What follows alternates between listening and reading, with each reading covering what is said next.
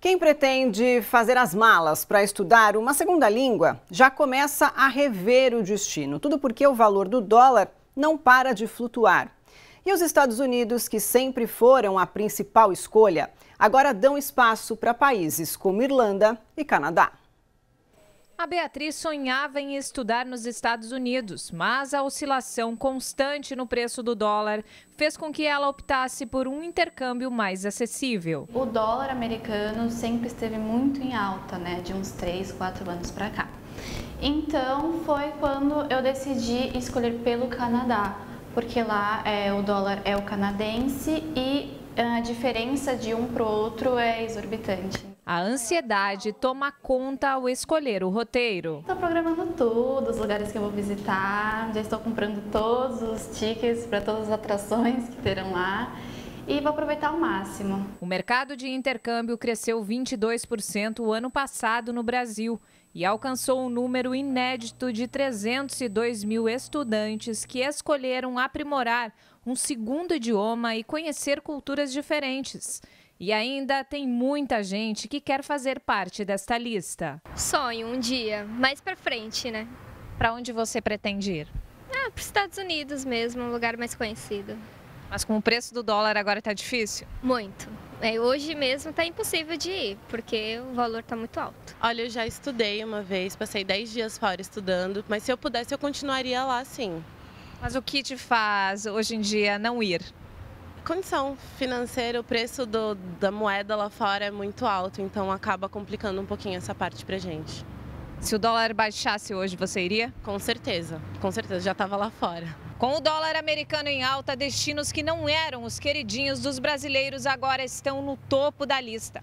O Canadá, por exemplo, que registrou um aumento na procura de cerca de 40% no primeiro semestre do ano, segundo a Associação Brasileira de Intercâmbios. É o sonho de todo mundo migrar para os Estados Unidos, estudar, acabar conhecendo também.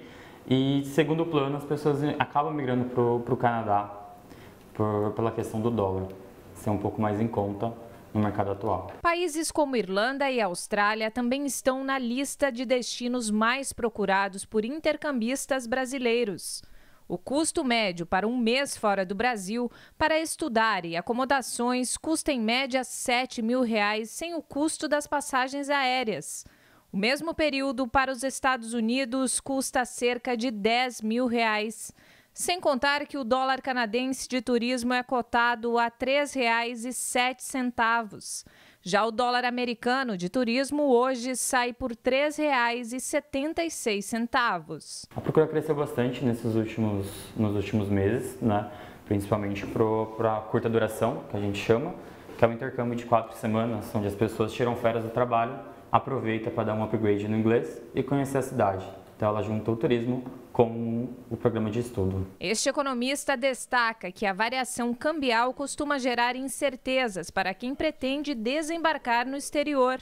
Além disso, o cenário político instável também colabora para a desvalorização da nossa moeda. Quando essa variação cambial é muito elevada, é, essa incerteza acaba afetando todos os que trabalham com dólar. Né?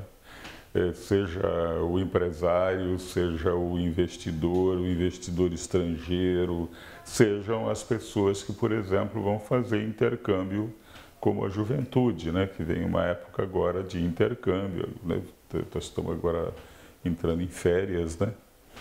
Então afeta todo mundo. Mais pessoas acabam procurando mais dólares, né? E com isso o preço sobe, como qualquer mercadoria.